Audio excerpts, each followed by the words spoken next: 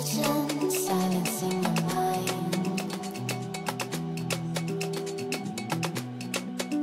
to be patient, but running out of